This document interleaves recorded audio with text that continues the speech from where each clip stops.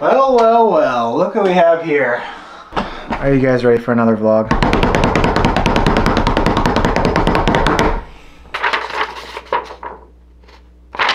Have you ever had a time in your life where you just want to blow off some steam? Where you get to a point where you just want to everything that goes out there and this and do that and, like it just builds up and then you just end up just blowing up.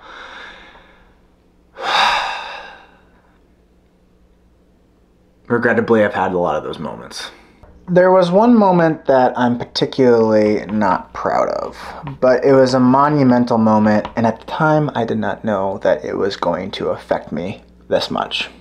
I was 17 years old, just came off a really good sophomore year, and had a lot of schools looking at me. Like, pretty well named schools. To say the least, I felt like I was invincible. And what 16 and 17 year old kid doesn't feel that way? I was extremely, extremely undisciplined. And not undisciplined in a matter of always getting in trouble. Undisciplined in being self disciplined. And what's the difference between just disciplined and self disciplined? Well, discipline can mean that um, an authority figure disciplines you for acting a certain way. Um, you have an accountability person that um, disciplines you, which we all need at a very early age. But I was becoming a man. I mean, in a lot of cultures, you're a man at 15. So I was in the process of learning how to become a man. And the actions that have been taken ended up leading to this scene right here. That's young me, that's my dad, that's a lamp, that's a brick wall, and that is a cart. A shopping cart. I would like to pause for a moment in this vlog and the story to just like look at look at this drawing. I think I'm getting better at drawing.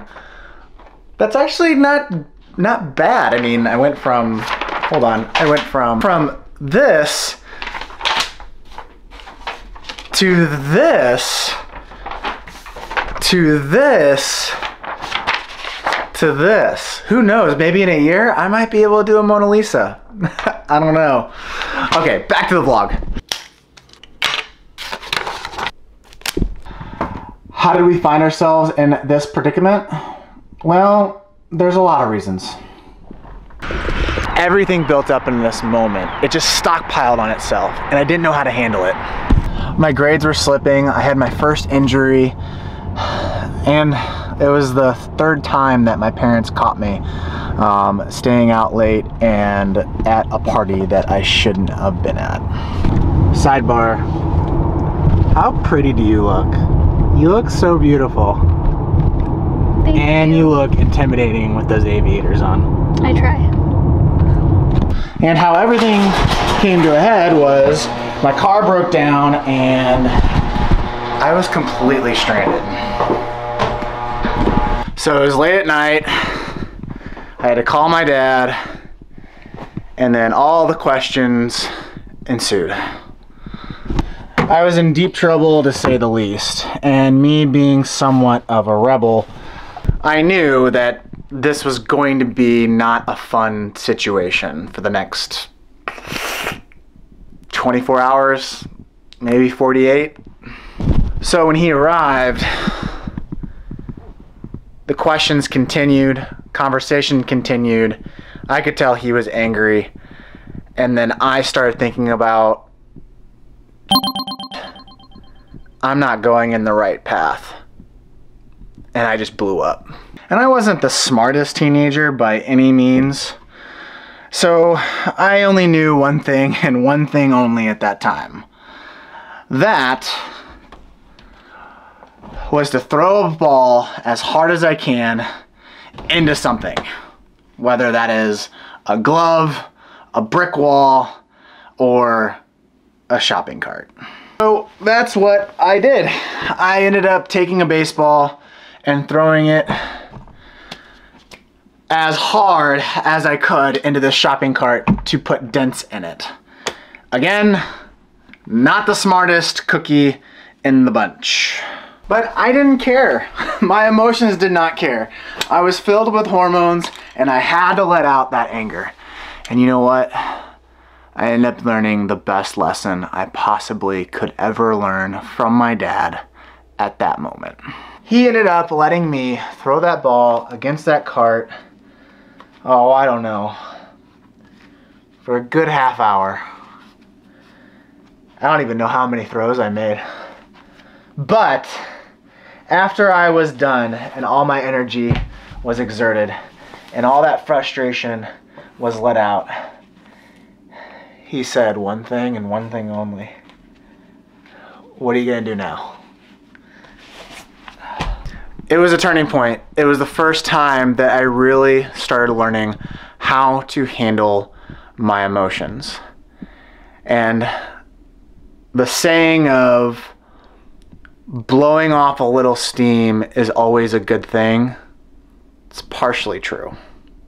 If you just blow off steam, that's just not enough because what happens is you're continually going to be in an aggressive state. Basically, you have not learned your lesson yet. You have not learned how to manage the emotions. And in the book, the author describes this really well and he says that you have to have action items to be able to confront those emotions and knowing how to handle them and being able to create a stronger person and a stronger character. You start viewing emotions without any judgment. So there's not a good emotion, there's not a bad emotion. Emotion is just an emotion. You just have an outside perspective of it. And one quote from the book that really hit a chord with me. And it actually isn't his writing, it's actually from C.S. Lewis. And he says, Crying is all right in its own way while it lasts. But you have to stop sooner or later, and then you still have to decide what to do. My dad instinctively was teaching me that you have an emotion, now what are you going to do about it? what's going to happen next. And that was a real big turning point for me. And that's when it started clicking for me. I was falling behind and I didn't realize I was falling behind. I had to catch up. So from the 10 pages that I read today, the things that I learned was obviously yes, no judgment on emotions. But teaching that to a little one is going to be a lot harder than I thought. And thinking about my dad and how he did it, I'm it just I don't know how how he was able to teach that lesson in that moment. But the last thing that I learned, which is letting that steam off, but not acknowledging that it's a good emotion or a bad emotion. Being agnostic to it and realizing you still have to do something about it.